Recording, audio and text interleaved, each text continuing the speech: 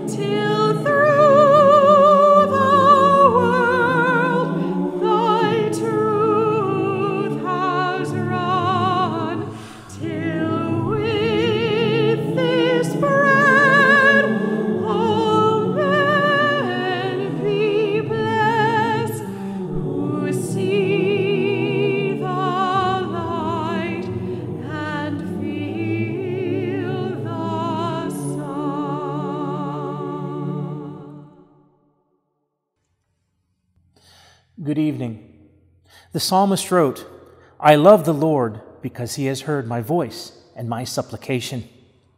Tonight, we gather together as he did with his disciples to remember his love and sacrifice.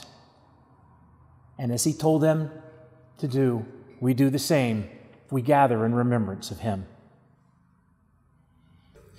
My Jesus, I love thee. I know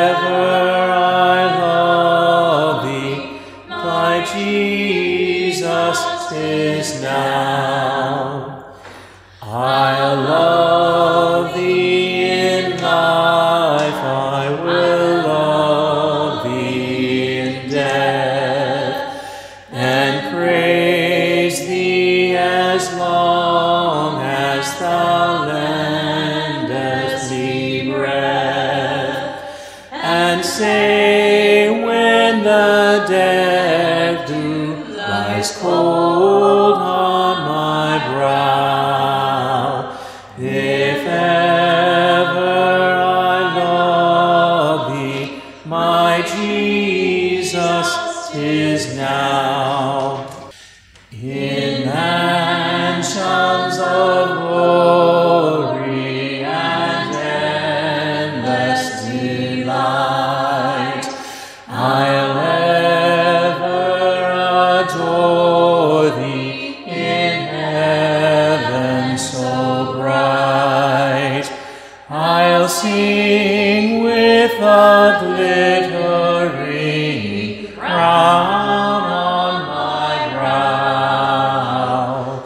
If ever I thee, my Jesus, tis now.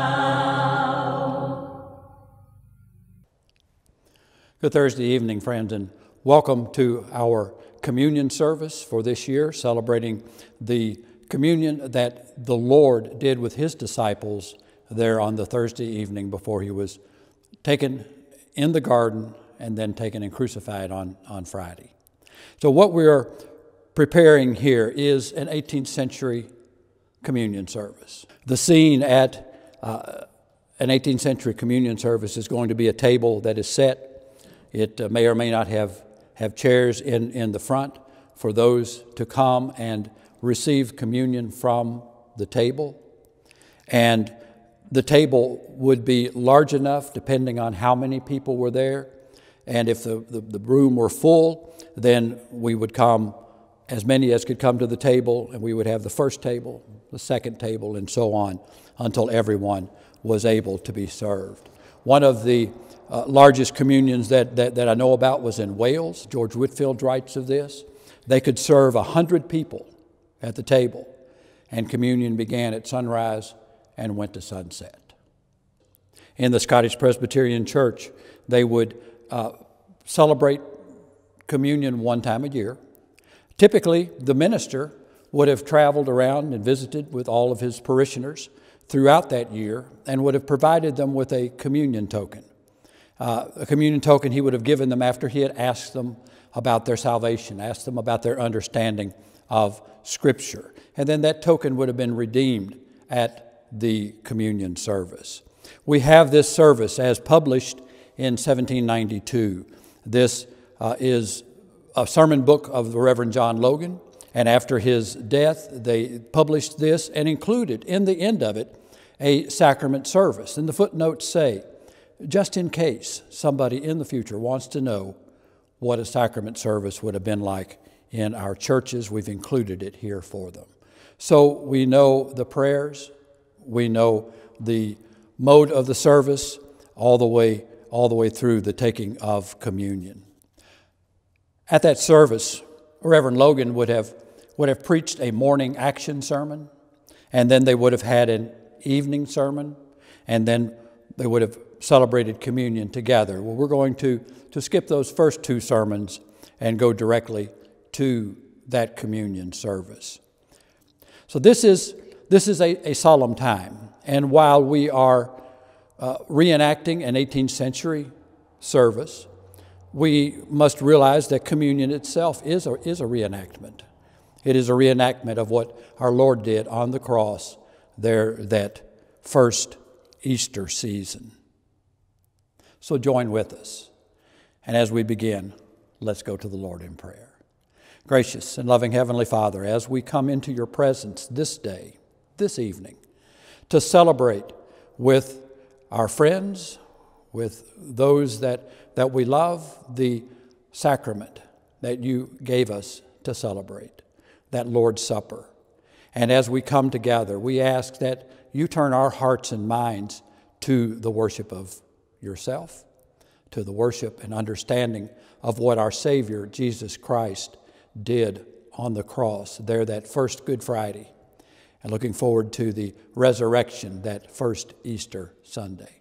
But understanding that this is a fulfillment of Passover. So the Passover lamb is, has been sacrificed and the meal has been given. We pray that you join with us this day. In Christ's name is my prayer. Amen. The services are always enveloped with prayer. Prayer is our communication with, with the Lord. And so we see several prayers throughout this evening service of communion. So join with me the prayer of Reverend Logan on that, on that occasion. Son of the Most High, thou art worthy to take the book of life and to open the seals thereof, for by thine agony in the garden and by thy sufferings and death upon the cross thou hast redeemed us unto God by thy blood. Thou didst tread the winepress alone. Thou stainedst thy garments in blood.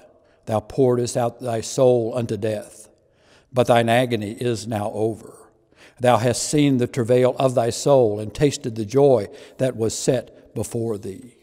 Come now from the holy hill, glorious in thine apparel, travailing in the greatness of thy strength, speaking in righteousness, mighty to save.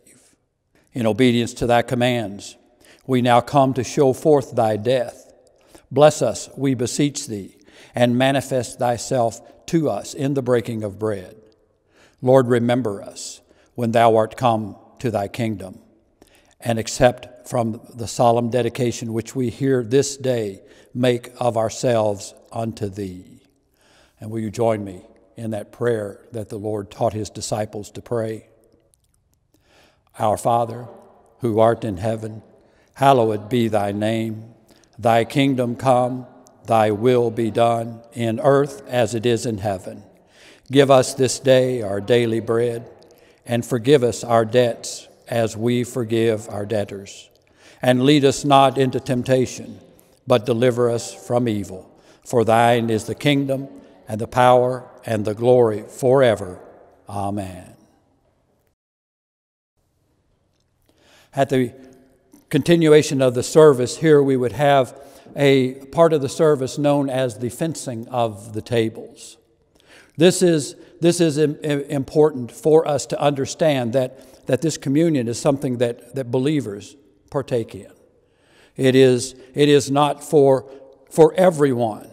And even beyond that, we, we need to understand that we understand the gospel of Jesus Christ, that we understand the sacrifice that he made for us.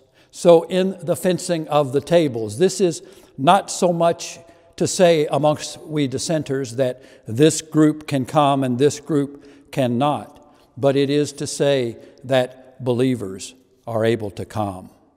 The fencing of the tables proceeds thus Christians, we now proceed to the particular and solemn service of this day. An ordinance most sacred and holy in the Christian religion is that blessing of our God to be celebrated among us. The table of the Last Supper is of our Lord.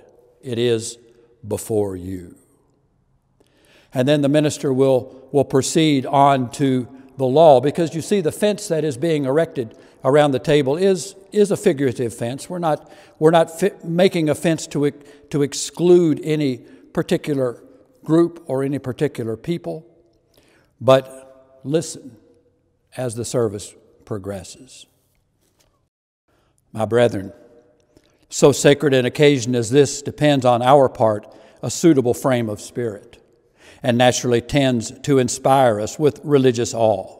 Many serious and solemn thoughts now are, arise in our mind, and holy fear takes possession of the soul, and we distrust ourselves when about to approach the presence of the living God. Who is the man that shall ascend unto the holy hill?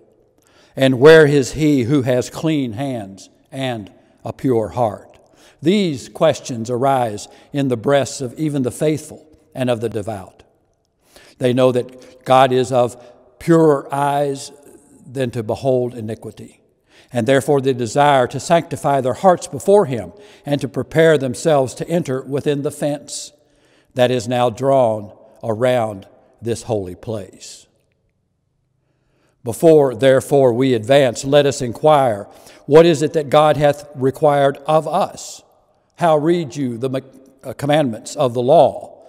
In Exodus 20, verse 3 and following, we find these words Thou shalt have no other God before me. Thou shalt not make to thee any graven image. Thou shalt not take the name of the Lord thy God in vain. Remember the Sabbath day to keep it holy. Honor thy father and thy mother. Thou shalt not kill. Thou shalt not commit adultery. Thou shalt not steal. Thou shalt not bear false witness against thy neighbor. Thou shalt not covet. Such is the law. And as we read this, we realize that on Mount Sinai, the people could not approach because the mount was the holy place where God was, so a fence was erected there. And like that place where we are standing is holy ground, stand back, thou profane. But let him who obeys and loves the law come forward. Sit down, you blessed of the Lord. And of course, with such an admonition, it is impossible then for anyone to approach the table. If I had required at the beginning of the reading of those Ten Commandments that we all stand, and then when I approached one of the commandments that you had broken, you would be required to sit. Then, after the first commandment, we all would be seated, for we've all broken every one. So, who is worthy to come to this table? Not I. Are you? None of us are. And so we see the severity of the law. We see the impossibility of the law making us righteous even if we attempt to keep it, which is, of course, impossible. And again, I repeat stand back, thou profane, but come to the table, all ye who are worthy, and no one can come. But let us proceed from the Old Testament to the New Testament, from the laws of Moses to the laws of Christ. These are not reduced into a summary, but their substance is faith, charity, humility, holiness. And we have the character of the blessed Jesus described particularly by himself in the Sermon on the Mount. Blessed are the poor of spirit, for theirs is the kingdom of heaven. Blessed are they that mourn, for they shall be comforted. Blessed are the meek, for they shall inherit the earth. Blessed are they which do hunger and thirst after righteousness, for they shall be filled. Blessed are the merciful, for they shall obtain mercy. Blessed are the pure in heart, for they shall see God. Blessed are the peacemakers, for they shall be called the children of God. Blessed are they which are persecuted for righteousness' sake, for theirs is the kingdom of heaven. Blessed are ye when men shall revile you and persecute you and say all manner of evil against you falsely for my sake. Rejoice and be exceedingly glad, for great is your reward in heaven, for so persecuted the prophets which were before you. Such is the character of the disciples of, of Christ. But even when we see that the summary of the law is to love God with all your heart and soul and mind and love your neighbor as yourself, an attempt to do that is still keeping the law. And that means that with, if righteousness is not available through the law, I can love everyone. But even if we say, well, we will love our fellow man and we'll love, we'll love God, that, that even that is an attempt to keep the law.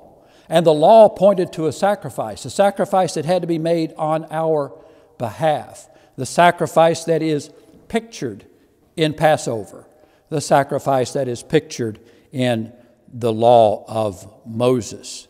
So, in, in coming to the table, then we come to grace. For by grace are you saved through faith, It is not of your works, it is the gift of God, lest anyone should boast. Augustus Toplady wrote it thusly Nothing in my hand I bring, simply to thy cross I cling. It is the work that Christ did on the cross that we celebrate here. It is his body broken, it is his blood spilt. And he calls us to believe, to believe on him, not to believe in ourselves, not to be, believe that I can be good enough in any fashion. So then the question will be asked again with the thought of the grace of God in our minds Stand back, thou profane. But come, all ye who through the broken body and the shed blood of Christ are now worthy. Let us pray. Gracious and loving Heavenly Father, again, as we come to your table, we see the symbols that you have left for us, the things that, that represent your body and your blood. And we realize that on the night that you were betrayed, on this Thursday evening, you took bread and broke it and gave it to your disciples and said, Take, eat. This is my body broken for you. Do this in remembrance of me. And you took the cup and you said, This is the blood of the new covenant, the New Testament. This is my blood shed for you. Drink ye all of it and remember the sacrifice that he made for us. Heavenly Father, we pray that you bless our time that we have here this evening, that you bless the memory of your Son, that you consecrate these elements as we take them with the thought that your Son died for us. And this is the grace, this is the gospel, this is the good news May these elements of bread and wine, which in the name and by the authority of the Lord Jesus Christ we now set apart to represent his body and blood, convey to the faithful the grace of the new covenant. May the bread become the bread of life. May the fruit of the vine be a foretaste of that wine which is now forever in the kingdom of the Father. Eating of this bread and drinking of this cup, may we never ever thirst or hunger again. Hear, O God, these our humble praises and prayers. May these now ascend before Thee with acceptance from this table, upon which are the emblems of the Lamb sacrifice, to the throne of the Lamb reigning in glory. Now to the Father, the Son, and the Holy Spirit be all glory and honor, dominion and power, time without end. Amen. So I say again, stand back, thou profane but advance, all you who through the blood of Jesus Christ have become worthy to approach his table.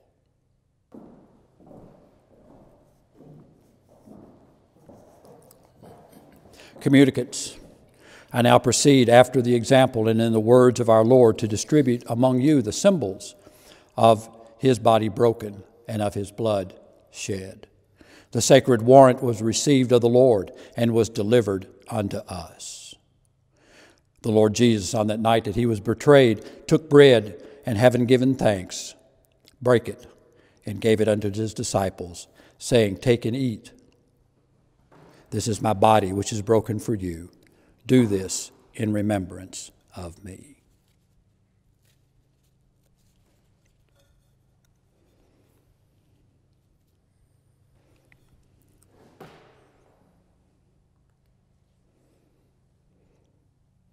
And friends, will you partake with us?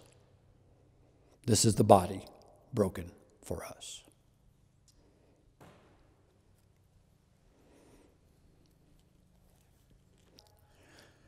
In a like manner, also after supper, he took the cup and he gave it to his disciples, saying, This cup is the New Testament in my blood, shed for the remission of the sins of many.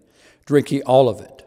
For often as ye eat this bread and do drink this cup, you do show forth the Lord's death until he come again.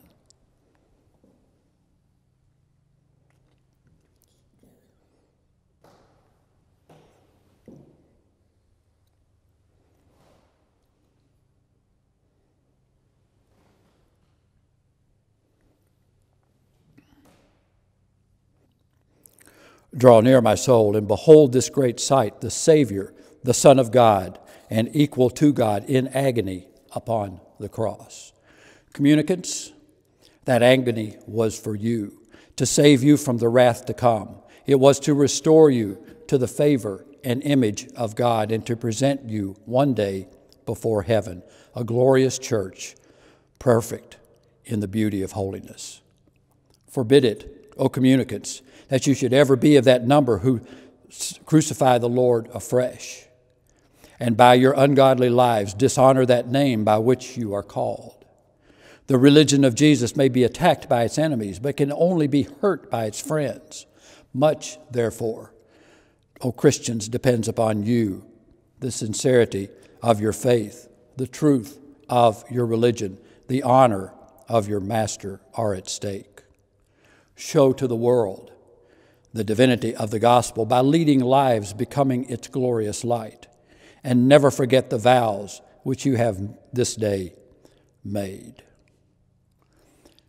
As you have received the Lord Jesus, communicants, so walk ye in him.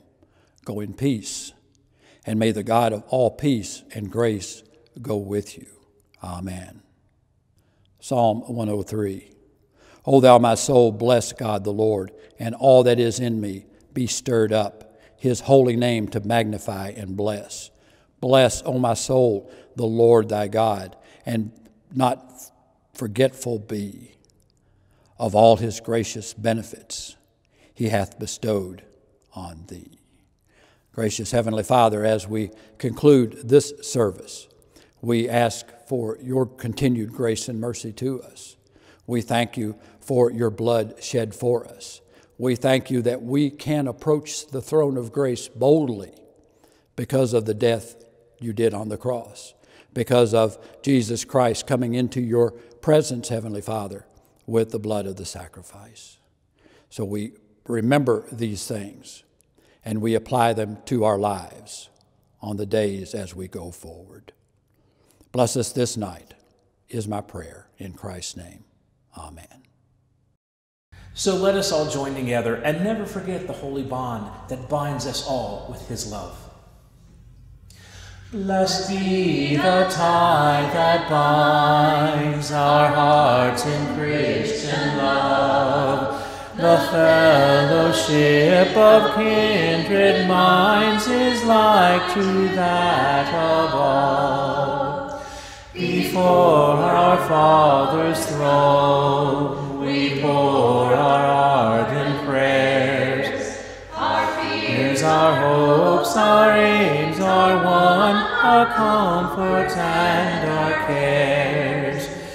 We share our mutual woes, our mutual burdens bear, and often to each other flows the sympathizing tear. When we are called to part, it gives us inward pain, but we shall still be joined in heart hope to meet again. This glorious hope revives our courage by the way, and waiting expectation lives and waits to see the day. From soil, toil, and pain, and sin we shall be free, and perfect love and friendship reign through all.